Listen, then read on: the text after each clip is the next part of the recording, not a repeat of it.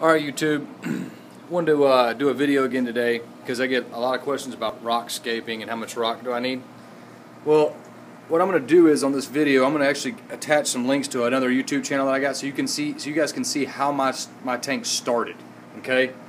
Now as you can see, you see this big old pile of rock right here? This big old long flat piece of rock. It's probably two and a half feet wide, okay? This rock here. Now, this rock here was way over there. This rock here was laying on top of two other pieces to make like a little cave where they could all lay in there, but that wasn't good enough. So these sharks, uh, and as you see in my other videos, I used to have, I had rock piled all the way to the top here, all around the tank, hiding places. They would all squeeze back there, but as they grew, they throw the rocks wherever they want. Even when you go over here, um, if you see here the eels underneath there, but the rock has been moved and shifted however they want it. I gave it that fight a long time ago, and I've been gradually removing rock as they've gotten larger. You see the rock on this side, now remember all of these sides that you're seeing, every one of these sides that you're seeing were all the way to the top, pretty much maybe about six or seven inches below the top with rock. I had mushroom corals and uh, gorgonians. I had the.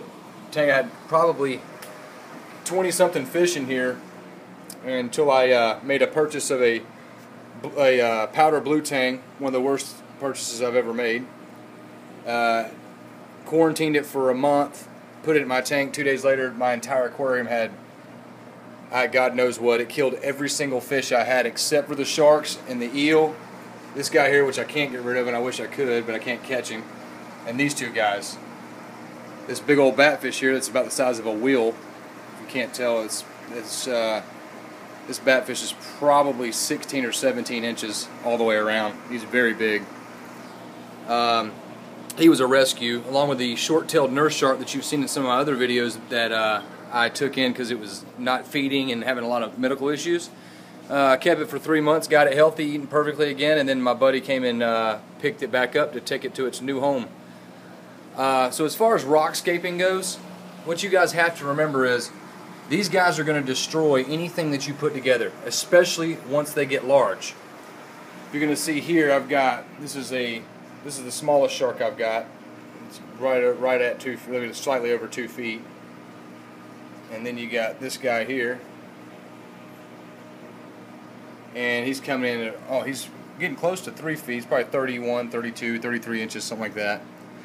And then you've got this guy back here it's a male white spotted bamboo. Coral cat shark, which is 25 inches. And he's one of the biggest culprits of destroying things. And then I've got another male white spotted bamboo. And then a three and a half foot zebra eel.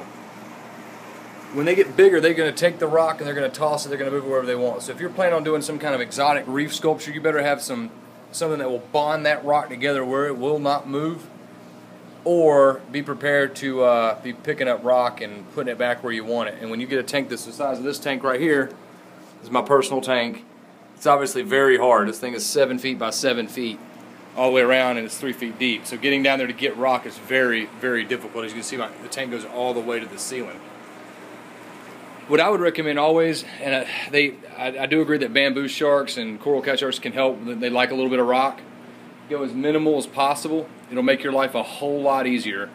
Uh, you won't spend near as much time picking up your tank, turning stuff over. The corals, I had it going really good. My starfish that I got, you see I have a bunch of those. This particular guy right here ate every mushroom coral I had. The gorgonian was eaten by this guy. And the Duncans were doing fine. I actually removed them today because they continued. I put them on the, I uh, bonded them to the rock and the sharks are so big now they just knock them over, and I had three of those, and they were doing really, really well in this tank. So you can grow coral. The problem is when these guys get really big and they want to knock something over, they're just going to knock it over. You see my live rock, it was I've had it for years, but they grow those feather dusters have been growing off of it. I, to, I have hundreds of those in here. They pop out whenever they want. The starfish actually eat those too.